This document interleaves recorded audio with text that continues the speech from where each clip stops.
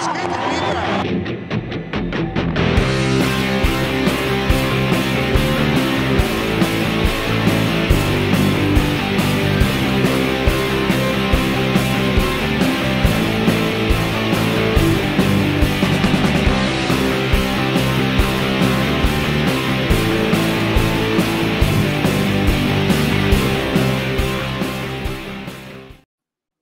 And welcome, Rooster Boosters. It's Rooster Booster time with the big guy, Scott Ferrara. Um, we're bringing you some weekly content. Hopefully, you guys have been enjoying it. The past interview was with Kirk Hamilton. And this week, we actually have a, a really uh, big guest for me. Um, big fan of Chris. Um, not a fan of his high school, but we'll get into that later. Uh, Rooster Boosters, it's Chris Mattina. Chris, thank you for being on the show. Yeah, thanks for having me on, Scott. It's a, it's a pleasure to be here and looking forward to talk to you. Awesome. Um, so actually, I'm going to get right into it. Um, you know, in my earlier interviews, I asked guys what they were doing during the COVID situation. Um, you actually have started your own rugby academy, and it's been uh, on social media. So I'm going to, you know, get right into it. It's called the CM Rugby Academy. Um, I was looking online, and uh, the the mission statement starts off um, with the CM Academy, Chris Mattina Academy, provides personalized high performance training to unlock the full potential of rugby athletes. So, my question to you is who is your key demographic in that? Is it high schoolers, you know, people looking, uh, kids looking to go into college? Is it, you know, club D1 athletes? Who, who, are you looking to help? Yeah, I mean, I'm pretty much casting a pretty broad net. Um, you know, initially I was thinking more high school and the young college kids, um, but obviously I think as it grows, I would like to expand to even professional, um, upperclassmen, kind of kids that are looking to take their game to the next level and play in the MLR or play for sevens or play for the United States of America. Um, and I think my academy is kind of parlaying off of the fact that you can become a professional rugby player now and we need American players in the MLR. So I think the best way to do that is with this kind of more personalized one-on-one um, you know, training, which is going to give them insight to what you either need to do to play in the MLR or what you, you know, have to do in your college years to get yourself prepared for that next level. So, pretty much that college, that high school range at the moment. You know, and that, I think that's a good range to to hit at as a demographic because most kids aren't brought into rugby at a young age. You know, I know I wasn't. I started in college and you know, crappy mm-hmm. Division Four. So it's not like I was really. You know, Nate Brakeley might say I'm not not even playing rugby in Division Four, but um, to get that edge for kids who really want to pursue it, that's a perfect time to learn the technique, learn some basics that again you might be taught um, younger in a different country but right. to, to get it here, you can definitely use it as an advantage. And I see you've been working with another rooster, Mikey Brown. Mikey's kind of doing some forward drills online. You guys have yeah. some really great videos of the kids, and you, you, know I've seen you working on the kicking, which I've you know again, no, I can never kick, can't kick a ball worth a damn. Um, right. So it's it's really nice to see you working with the the youth athletes uh, in this area at this level um, preparing them for college. Um, so my my second question really is: Have you always wanted to be on that coaching side of rugby? Yeah, I think I I always have. I think I had my a good head on the game. You know, like I have a good understanding of it, and I was really born into it. My dad played rugby. My uncle played rugby. I've been around it for a long time, and um, I just understand it very well, and I understand what it what you kind of need on the skill aspect at least, and even in the physical training side of it. Um, in college, I studied exercise science, and I also got a minor in strength and conditioning and coaching science, actually. So even in college, I, I kind of knew that by the time I was done there, I was like, I think I could be in that coaching realm, and I think it's just such an important area in the United States for American players, not just the foreign coaches that come over, the foreign players come over, and I, think they're they do a great job, and I think they bring they've taught me so much, and you know a lot of these foreign coaches have taught me you know everything I know, but I think it is important for American-based players to to coach, and it, and it's something about being able to connect with the kids maybe more, or you know I've been in their shoes before. I know the system, I know the college system, I know the high school system, and I think that has puts me at a little bit more of an advantage, and it also makes me a little bit more personable because I've been in their shoes, you know, as an American player coming up through the system. So I kind of noticed that that was a need in America, and I think you know I decided I was always thinking about creating academy, or I was coaching at Xavier a little bit. I graduated. Um, even when I was at Delaware, I was the captain and I was the president of the team too. So I had, I was doing managerial things. I was doing, you know, taking care of pretty much the whole program. Um, yeah. And I kind of enjoyed that a lot. And that's my like senior year, my fifth year. And I think that's when I really knew like no, actually, I, I would really enjoy doing it, and I did a good job of it. I would say at least, um, and I think people would back me up on that. So that was kind of like the timeline of like when I started really figuring it out, um, and then this kind of blossomed out of nowhere. Well, not really nowhere, but it's been a long time coming. So, and I think you know, for some people, obviously, COVID has been a negative, but I think this kind of it felt like to me this you decided this was the time, and and when New York opened up, let's get to it. So yeah, you know it. Yeah, and again, Sorry, it's it's nice to see it like on social media and and fans can be a part of it. So Rooster Boosters uh, at CM Rugby Academy. Uh, follow them on Instagram. They they do stuff daily. So I'm going to go back to earlier in your answer. You're talking about you know your father playing rugby. Um, mm-hmm. For an older gentleman, he's rather tall, so I'm going to guess he was a lock. Yes, he played lock and a little bit of back row, a little eight man. Um, and my uncle as well is pretty tall, so he he they both played in the locks together. Um, ah. So they, I didn't get uh, I didn't get his super size, thankfully, but I got um his athleticism, which was pretty good. um, and I just want to touch on your experience at Delaware. Um, you know, I think um, you know, some fans might not realize, you know, uh, Division One rugby in in college is still a club sport technically. Mm-hmm. Um, right. so you have to run that managerial administration stuff, and again, coming from a smaller school who we didn't even have a rugby coach, it was hard to just even get dues and sit money. So, h- how did you? How do you feel at at UD? Um, did they work well with the rugby program, like the administration? And I'm sure you had to deal with student activities and stuff.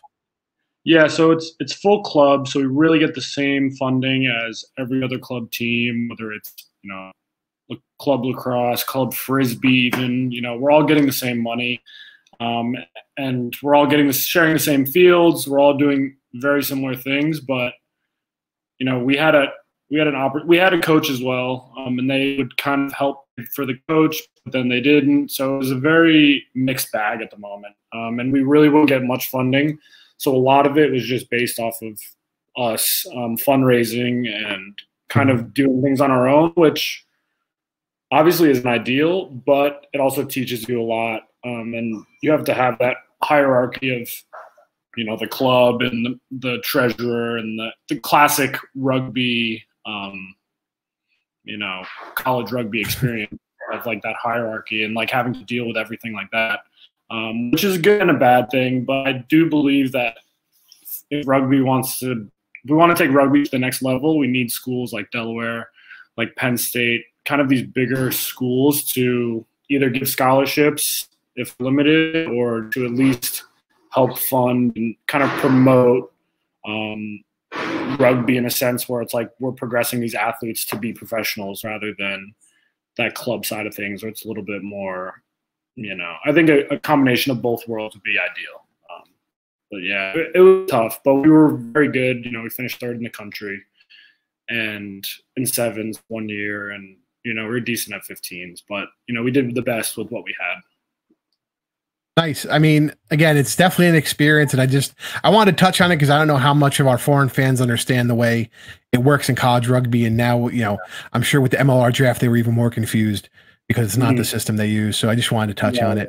Um, so I'm going to get to some uh, some actual RUNY questions. So my first question is: This is the first que- time I've actually asked this question. Um, playing at MCU Park, how hard is it kicking towards that goalpost that's in center field? That is my nightmare, to be honest.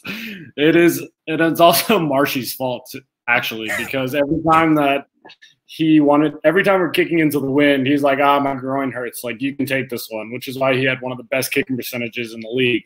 So he made me take all the hard ones into the wind. Um, but it is hard, man. It really is. The wind just comes off that ocean, and it's just swirling around, and you really have no idea, you know, where it's going to go. you have to really stay calm and, and ease your swing through it, but it's very tough. Uh, it's very tough, and when you have the wind at your back, though, you can kind of hit them from all over the place, and the wind is usually coming off the ocean. So on the other side, it's it's not bad. The ball flies off your foot, but kicking into that wind is yeah, it's nightmare feel for me. Sure. um, it's funny because I believe it had to have been Harry Bennett. I was watching in 2019, you know, sitting in my seat, and I think he tried for like five conversions or two conversions or three. He had five kicks, and all of them went up to that to that goalpost, stalled, and just dropped like a stone. And yeah. you know, yeah, it's just unbelievable because you might get it there and it looks perfect, and then it'll just go straight down, and it's just like what, like what else do I do? Yeah, it's it's interesting playing there, and I think people who don't see it live appreciate it because you can actually feel that breeze nine times out of ten coming off of that uh, that center field wall, which is interesting for baseball because you know the balls are it's you know it's even for a different sport like why would you put a, a put yourself at a disadvantage playing there? But oh, I mean, I'm sure they could have done something. They could have done something to to change it, but yeah, I don't know. I'm sure the baseball players hate it too.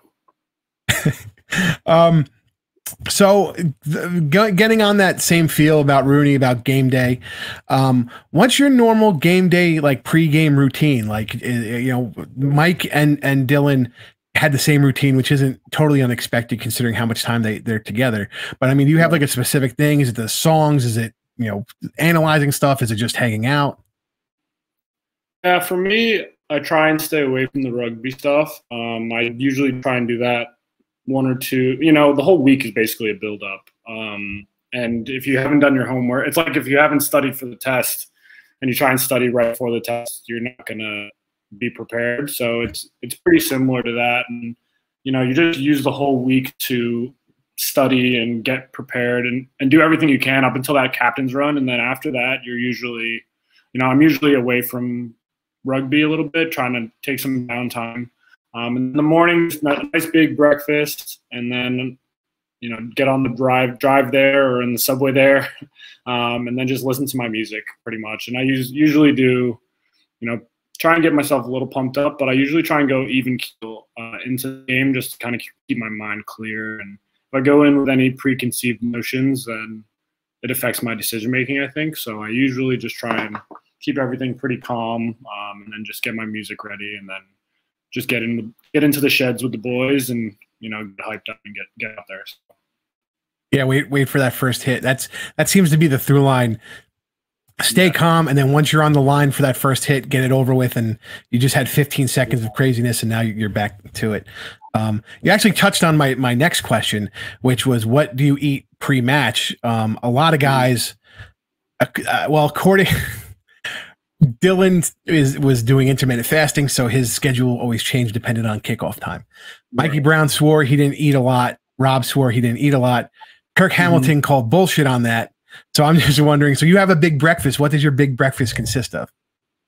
Yeah, usually it's it'll be eggs and toast, or you know, sometimes I, even before that Utah game and the snow, uh, last year, I had like a huge waffle, like chocolate chip waffle. I don't know what what came over me, but um, for some reason, a waffle, at least half of a waffle before, just charges me up with the carbs, and I think the sugar kind of gets to me too, which which helps. So I actually have a pretty decent sized breakfast, and then I probably have a little snack, you know, some nuts or something before the game. Um, but I, for me, carbs I need some type of carb before the game, even before training. Like if I don't eat before training or have carbs, then you know I feel hungry or low on energy. And I think it changes for everyone. Like I've heard people that don't eat anything that like to feel light, you know, all that. But I've I've kind of done a little test, and if I don't have carbs, I'm not happy. so usually have something big with carbs, um, and then I'm usually good to go. So I have a little bar before the game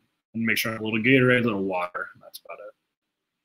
Nice. Yeah, you know, it is. It's tailored, nutrition's tailored to in, each individual person. And I think it, I've had this discussion with Jake Fury. We talked about it for like 20 minutes about how nutrition and high performance workouts have now worked into people's everyday lives, even if they're not a professional rugby player. Um, so Yeah, so it's so it's I, I love to hear everybody's little kind of details on what they do. Um, as a matter of fact, we were talking speaking about the waffle and the carbs and the sugar. Uh, former Michigan coach, uh, football coach Brady Hoke used to give all his players a, a Krispy Kreme donut right before kickoff. Yeah, and that would be perfect for that. You know, like that is that sounds like what has worked for me in the past. So I don't doubt yeah. it. I don't doubt it at all. So I, I mean, I can see the if you're not like ready physically, you know, that might hurt you. If you're ready physically, um, and like before the game, you're gonna burn off. You know, you can lose like four or five pounds in the middle of a game just from sweating. So if you want to keep your sugar and your carb and your energy high, you kind of have to do something like that. At least for me. Um, but I can definitely see the, the donut thing. That'd be great. I think uh, Kurt said last week that he, after I think it was the Austin game or Houston, Houston game uh, last season, he lost 12 pounds from kickoff to to to the end of the game. Um, which you know, yeah, I, I, and you know, obviously, you're going to cut that water weight somehow. Uh, so why, why not play do it playing rugby? Um, here, you know what? Here's a question. I, I'm kind of going off topic. Um, World Rugby has put in uh, maybe some changes to rugby law about less substitutions. Um, and right. Kurt and I talked about rugby being a game of attrition, but you also mm-hmm. have to balance that with player safety. So, what yeah. do you think about having one less replacement?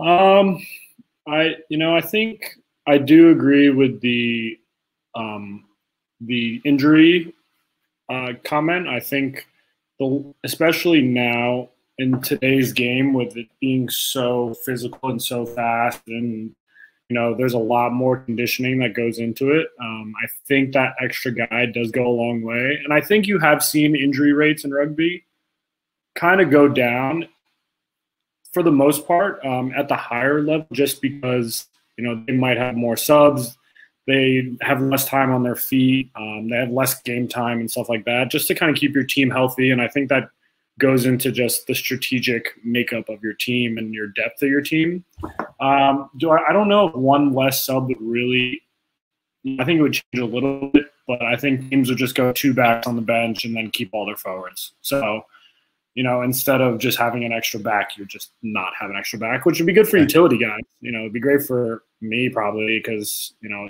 depending on anywhere, I'm, yeah. Um, I can just you know play anywhere, and then either I can move around or that guy comes on, moves me to another spot or whatever. So I think you know it might make it interesting, but I don't think it's smart for the injury, you know, substitution. Mm-hmm. So. Like we were playing, if we had one less sub in that uh, San Diego semifinal, Marcus Walsh would have been playing yeah. like inside center or something. Yeah. So I don't think that's ideal. no, it's not, and I agree with you. I, I think in the let's say 20 years ago or 30 years ago, it, each position was a little less specialized, except for like maybe kicking or you know the, the props just props and locks just have to be naturally tall for a lock and wide for a prop. But now each position is so specialized. I think it's a disincentive not to have that extra spot because, yeah. as as RUNY saw, I mean, two weeks in a row they they lost a starting lock, and now they had to rush out. They had to get Charlie Hewitt, and they had to get Hanko so they can move Brakeley inside. And imagine if that happened once, you know, if if both those locks go out in the same game, you know, uh, it's it's yeah. So I think it, while it is a war of attrition, you do have to go with player safety, and I don't think again, I don't think it's going to change anything dramatically other than guys now are more tired, and I feel they're going to make more mistakes that can get you hurt versus yeah. making a bad pass that's going to be intercepted and look good for a try. So. Yeah, for sure. I think the injury, like injuries, always happen when you're tired, right? Or mm-hmm. most, like eighty percent of the injuries happen when you're tired. So you know, if there are more tired bodies out there, yes, it might be more exciting, but it also adds that injury, which I don't think they're willing to uh, to trade. So. Mm-hmm. So, and you, you touched on being a utility player, and I mean, we've seen you pretty much play every position in the back line. And to be mm-hmm. honest, if if Coach uh, McWilliams was like, "Hey, you got to play eight man or you got to play flanker," pretty sure you would jump right in. Um, but what do you? What's your natural position in the back line? Yeah, so that's a it's a tough question, you know. And I think growing up, I was always a fullback. I was always a fullback, you know. And I think that's where I was at my best, um, and have a lot of good fullbacks there at the moment. Um, and you know, I just I haven't played so much center in my life. You know, I've probably played. This was the first year I've ever played twelve, realistically, um, in my life, and I think it's just because I know the game really well and I've, I'm skilled enough to be there. Um, but at the end of the day, I think when I'm at my best body weight and I'm at my best playing weight, I would say that fullback is my you know number one position. It's position position that I like the most because it has the most space. Um, you know, I've kind of been. It's tough because like obviously Fodes is there and he's he's such a good player, um, so I can't you know knock that at all or um, and anything. So, you know, I think I would like to be at fullback, but obviously, like, I do like to play a little bit of 10. Um, don't know if centers is where my natural, you know, position is. I think I can just play pretty well there, but at the end of the day, if I'm going the next level, I would say, you know, fullback or back three. You know, I I mean, viewing your playing style, I agree, and maybe it's just because you played 15 when you were young, you know, so much. Yeah. I mean, you have a big booming kick, and that actually that has helped you at center, believe it or not, because you you've had to go back uh, sometimes at center when when when people aren't back or you know Fodes goes up, and you naturally kind of have hung back and then out maneuvered somebody on a big booming kick where where you know opposition is going like oh shit, you know I missed I misjudged this. So two things: one, I think you make a great fullback, you know, and Fodes makes a great fullback. So I mean, it's it's hard to be like you know right. who, who, fits the position better but because you're you can play center mm-hmm. why wouldn't coach mcwilliams put you on the field there because he wants you on the field yeah. you know exactly, but it has to feel yeah. good yeah it does no i enjoy it you know and i think it it just helps me understand everyone's place as well so it gives me a, just a better understanding of everything and i think i've grown a lot i grew a lot in that 12 jersey um, even just in terms of my voice on the field and what I'm seeing and what I'm reacting to and kind of bossing the forwards around. Um, I think I was finding a pretty nice groove actually before the whole COVID thing hit. So it was a bit unlucky for me, but it's been nice to use this time to to get everything right in terms of my body and, and all that and kind of just focus on myself rather than focusing on, you know, everything else, I guess. So I think that's a good major takeaway. But yes, I agree. Um, it is a tough. It's a tough position, but it's not a bad one to be in. Absolutely. Um, and again, you know, it's nice for you to to say with COVID, you know, a lot of downside, but you've you've taken the time to you know be mentally healthy. You know, it seems like you take you taking some time for yourself away from rugby, and those hits take a toll on your body, obviously. Um, so it's nice to see you using the break in a a smart manner and and you know again, just doing what you want to do in the, the academy and not really, you know, taking the taking the negatives out of everything. It's it's you have always been a positive person, which is always nice to see. Um, so my next question, because I, I always ask everybody this, so I wonder. It's funny. Everybody's been in the typical, I'd say, age range of myself. So the answers have been similar in some of them. But uh, what's your favorite sports movie? Favorite sports movie? Um, Ooh, that's tough. I mean, Friday Night Lights is a classic. Um, let's see. Um, I don't know. That that's a really tough one. That's a really tough one. What were some of the other answers? Uh, let's. I, there what Butch, Mike, and Rob uh, all said. Remember the Titans. Yeah, yeah. Remember that's what I was. That's so, the one I was missing.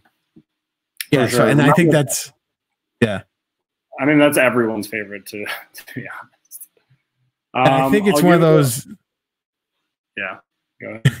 oh, I, I th- it's one of those like I remember watching it uh, when I was in elementary school and it was raining outside for for recess and they'd put on a movie and it was two movies: The Sandlot and Remember the Titans. Yeah, I remember the Titans. Yeah.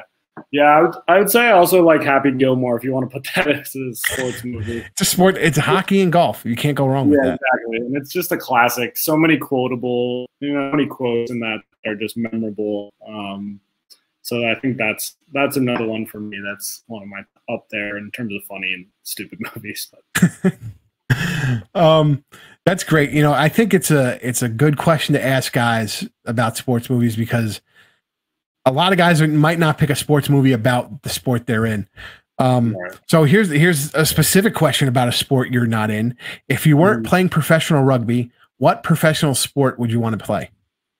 Yeah, uh, football would be my yeah, number football. one. Um, yeah, just growing up, like I always wanted to play in the NFL. I always wanted to be a wide receiver in the NFL, and that was my that was my goal. You know, I always thought that I was good enough, and I was really a good wide receiver, even just playing like flag football and you know, I was I thought I was really good. I had good hands. You know, I was I was pretty quick. Um, I was pretty tall. So I always thought, you know, maybe I'll try and make it as a wide receiver. But obviously Xavier doesn't throw the ball at all. Um, no. We run a single offense, which is Wildcat twenty four seven, and I there was just no opportunity for me to play uh, receiver. But obviously, professional rugby and being able to play for in the sevens team is, you know, it couldn't have gone any better, I guess. Besides the besides the NFL, um, but you know, I think NFL for sure. My dad played football growing up too, and then he found rugby um, in college. So it was kind of similar for me. It was like I wanted to play football, and then I found it in high school, found rugby in high school, and I was like, all right, well, rugby's better, so I'm gonna choose that. Listen, you got to play what you're comfortable and and live comfortably at the moment. So if it was football and then rugby, who cares? You know, you found what you love yeah. to do. Yeah, for sure. And I, I, played a lot of other sports, you know, basketball and soccer, and um, I did like I liked them, but I was just good at them because you know I was like a decent athlete. Um, but football and rugby were probably my number, my top two. Just you know what I wanted to do, and that was like my dream for you know the longest time. I was young, just like play wide receiver, and you know I was watching like Ocho Cinco and you know all these guys playing wide receiver. I was like, I really want to do that. So yeah, it's a close one, but rugby definitely took took me over. So, what year did you graduate from Xavier? Graduated from Xavier in 2011. Oh, never mind. I, we because I was I was wondering if we if we ever played against each other. I graduated from Iona Prep in 05, so it wasn't even close. we're a little we're a little ways off. A little ways yeah. off. Um, for those of you that don't know, uh, there's a lot of Catholic high schools in the state of New York New, and New Jersey and Connecticut. Uh, Xavier and Iona play each other in the same uh, league in every sport. Um, and uh, Xavier has a rugby team. Uh, Xavier High School, uh, Fordham Prep, I think, has a rugby team. Um, then a bunch of the local uh, public high schools, Pelham, Rye, Scarsdale, I believe, has rugby teams. And I think one of the things that the Chris Mattina Rugby Academy can do is show kids that are already in rugby. You know, obviously, you can do better you can you can make more of a contribution by learning this way which you've you've shown the pathway to get to not only professional rugby but to become you know in the USA system which I think is every kid's dream growing up as a rugby player is to get into that eagle spot um, but I also think it's going to broaden the horizon of everybody else in the state and maybe have some of these high schools say hey we should have a rugby team because it does bring athletes a different viewpoint of being on the field besides the same old sports we always have football hockey baseball across that type of thing. Um, so i think your academy is going to go beyond just helping rugby players and i think it's going to push rugby out there um, to the different school districts believe it or not because because people are going to talk it's going to become a thing I, it's already becoming a thing on social media um, and i i wholeheartedly believe that um, that that's it right now for me chris um, i thank you so much for being on again you you, know I love what you're doing with the Chris uh, Mattina Rugby Academy. Again, at CM Rugby Academy on Instagram. Um, they're posting stuff daily, whether it's Mental Rep Monday or what they're doing with with their guys throughout the week. Um, you can see, you know, and you actually break it down like you were breaking down the kicking. Like this is what we're trying to accomplish. This is what this kid's trying to. Then this is the next thing he's trying to accomplish, and then the third step. Um, so anybody, yeah, with IQ or want to look at look, you know, just interested in rugby IQ, please follow him, give him a follow on Instagram. And anything else you want to say, Chris? No, I just appreciate it, and uh, you know, I guess my vision just for the academy is, you know, just to, obviously what you said is just to increase everything, just showcase it, um, kind of build that presence, build up the rugby community here, um, and then just kind of provide more that personal coaching and I think that's the biggest thing for me that I wish, you know, I, I had really good coaching and I've had the pleasure of having good coaching. And I feel like I find a lot of guys now that, you know, they, they might have some decent coaches, but they might not have all the time to just correct, you know these little tiny things that I can really pinpoint and do within you know one to three people, one to three four people in in your session.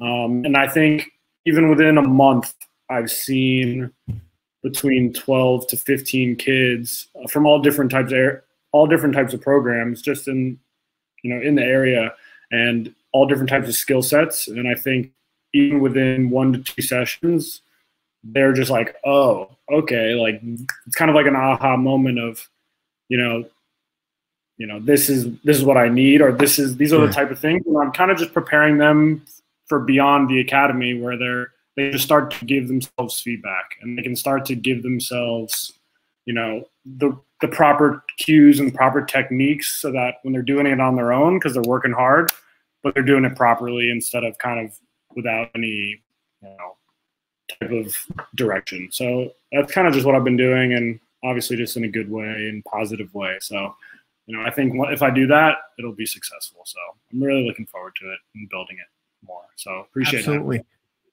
Thanks, man. Uh, listen, uh, the, it's a, a, pleasure to have you on. Again, try he's trying to raise the profile of rugby throughout uh, the tri-state area.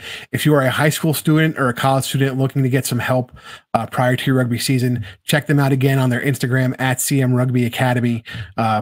Uh, hit Chris up with a private message. You know he'll get involved in your rugby life, and that's that's where you want to be. That's where he wants to be. Uh, Rooster Boosters, thank you again. Uh, it's been another great episode. I hope you guys enjoy it, and I'll see you guys next week. See you guys. Thanks.